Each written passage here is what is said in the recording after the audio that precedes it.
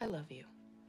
Oh, Wasn't expecting that. I love you more than anything or anyone on earth, and you need to know that so deeply that you never doubt it. You need to know it in your bones. And if it takes me telling you every single day for it to sink in that deep, then I'm gonna do that. Because you are my everything, Sue. I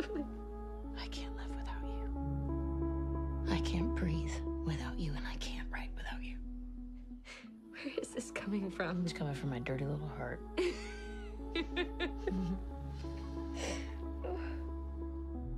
I feel uh,